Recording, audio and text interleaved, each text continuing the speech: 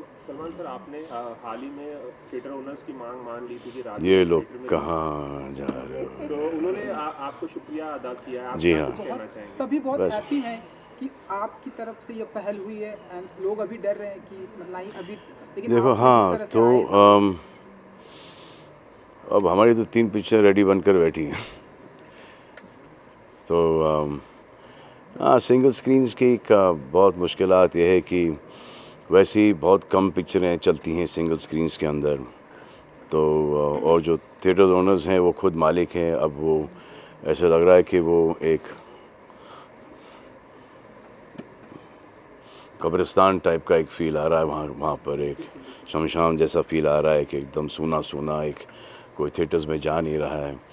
और ऑब्वियसली जो अब जिनके थिएटर्स हैं, वो तो चलाएँगे चलाएँगे और काफ़ी सारे ऐसे थिएटर्स फाइनेंशियल रीजंस की वजह से बंद हो चुके हैं। तो वो थिएटर्स बंद होना अच्छी बात नहीं है। और वैसे भी हमारा यही बिज़नेस है कि हम एक्टिंग करते हैं और वो हम पिक्चर बनाते हैं और वो पिक्चर दिखाएँ कहाँ थिएटर्स के अलावा। तो एक कैश ट्वेंटी टू सिचुएशन है और वो हमारे बिना इनकम्प्लीट है हम उनके बिना इनकम्प्लीट हैं।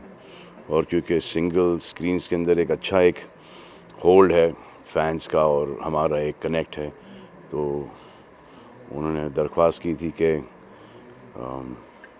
राधे को सिंगल स्क्रीन्स में रिलीज़ करना और फिर अब क्योंकि ये कोरोना इतना फैल चुका है, वगैरह वगैरह वगैरह तो और वैसे ही देख लो आप, सब नॉर्मल घूम रहे हैं और तो इसलिए ये दरख्वास्त थी थिएटर ओनर्स के के लिए कि जब फैंस आएँ देखने के लिए पिक्चर तो वो थोड़ा सा एहतियात रखें, वो एक सैनिटाइज वगैरह कर लें, ताकि किसी को वहाँ से ये बीमारी ना ना लगे।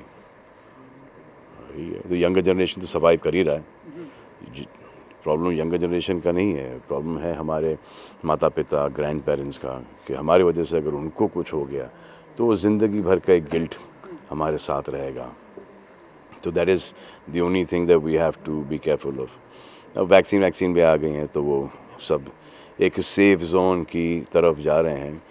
और दुआ है कि 2021 और 2022 2020 से बहुत ज़्यादा बेट, बेटर हो हम सब के लिए। और जैसे थ्री फोर फाइव आते रहे वैसे हम सब की ग्रोथ बढ़ते रहे।